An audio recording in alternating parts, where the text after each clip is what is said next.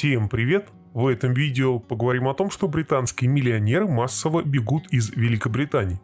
Британская газета Daily Telegraph написала, что все большее количество состоятельных граждан отказывается от британского гражданства и уезжает из страны на постоянное место жительства в третьи страны.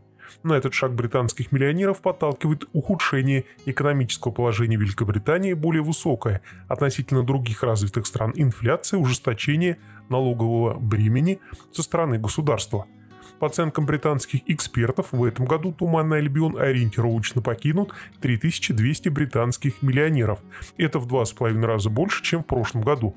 Британский источник опирается на прогноз консалтинговой компании Henley Partners, которая оказывает обеспеченным британцам услуги по получению гражданства или вида на жительство за границей.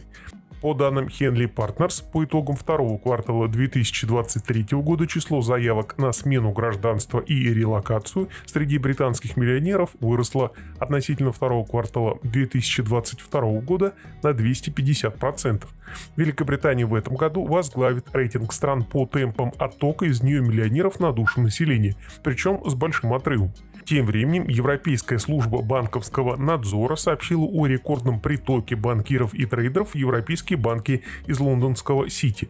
Дело в том, что вслед за миллионерами Лондон покидают банкиры, страховщики, инвесторы, которые управляют финансовыми капиталами и активами обеспеченных граждан.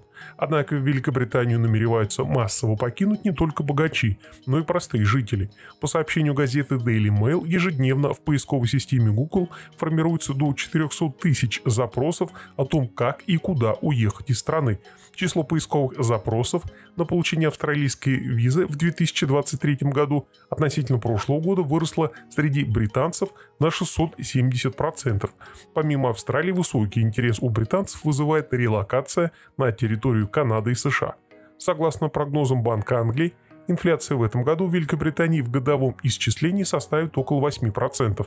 Это в 4 раза превышает целевые параметры регулятора. В Канаде и США инфляция опустилась ниже 5%, а в Австралии ниже 7%. При этом налоговое бремя в указанных странах ниже, чем в Великобритании. Эксперт отмечает, что налоговая реформа Риши Сунака ухудшит финансовое положение британцев за счет роста ставки подоходного налога. Помимо англоязычных стран, британцы также активно интересуются переездом в Объединенные Арабские Эмираты и Сингапур.